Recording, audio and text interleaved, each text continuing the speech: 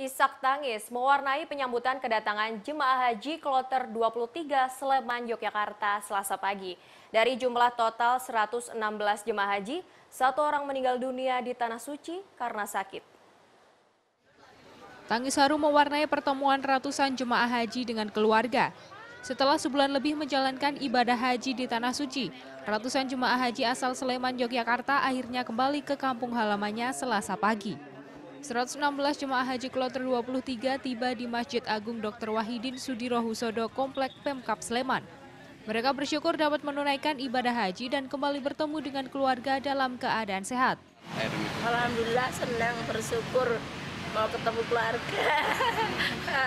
Semoga menambah apa amal ibadah kita lebih baik lagi.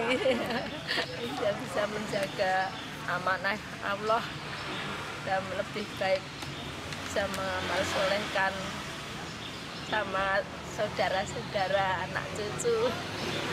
Bu, selama di sana ada kendala nggak Bu?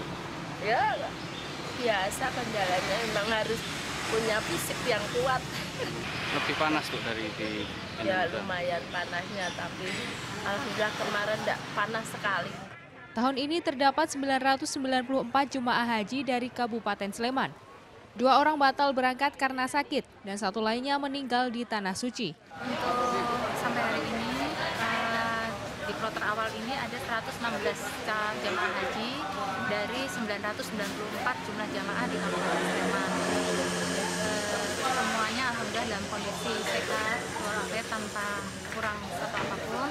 Iya, alhamdulillah untuk kondisi jamaah itu semuanya sehat untuk uh, yang pulang hari ini dan eh, dari jumlah total jemaah 994 yang wafat satu orang dan yang tidak berangkat dua orang karena sakit. Rencananya jemaah haji kloter 24 dan 25 akan tiba pagi ini. Disusul kloter 26 dan 27 yang akan tiba pada hari Kamis. Andrea Sigit Pamungkas melaporkan untuk NET.